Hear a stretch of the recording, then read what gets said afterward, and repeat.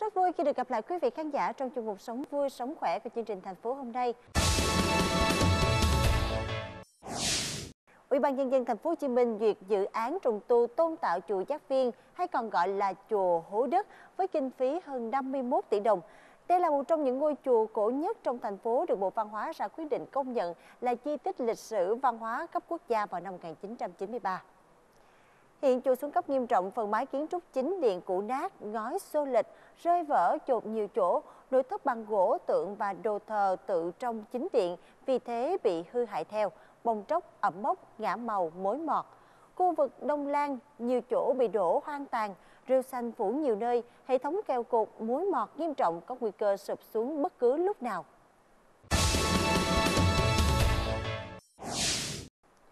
Vị thân mến, hàng tuần vào mỗi buổi chiều thứ ba, thứ năm từ 14 giờ cho đến 16 giờ và sáng thứ bảy từ 8 giờ cho đến 11 giờ tại phòng tiếp bạn đọc báo Sài Gòn Giải phóng các luật sư thuộc Văn phòng luật sư Phan Trung Hoài, Văn phòng luật sư Phạm Quốc Hưng, Đoàn luật sư thành phố Hồ Chí Minh trực tiếp tư vấn giải đáp về pháp lý các vấn đề liên quan đến pháp luật hoàn toàn miễn phí. Quý vị có nhu cầu đến gặp luật sư tại số 399 Hồng Bàng, phường 14, quận 5, thành phố Hồ Chí Minh.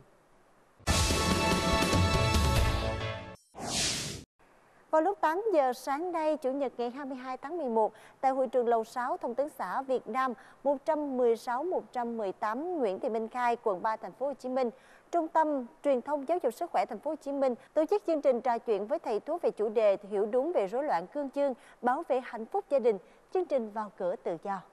Tham gia chương trình có các chuyên gia giàu kinh nghiệm trong lĩnh vực này là thạc sĩ bác sĩ Mai Bá Tiến Dũng, trưởng khoa Nam học Bệnh viện Bình Dân và thạc sĩ Lý Thị Mai, chuyên gia tâm lý. Chương trình cũng là dịp để giao lưu, chia sẻ, trao đổi giữa thầy thuốc và người dân, đặc biệt là nam giới và những người quan tâm đến sức khỏe sinh sản, giúp hiểu rõ hơn về nguyên nhân của rối loạn cương và cách xử lý, góp phần nâng cao chất lượng cuộc sống, bảo vệ hạnh phúc gia đình và sức khỏe của cộng đồng.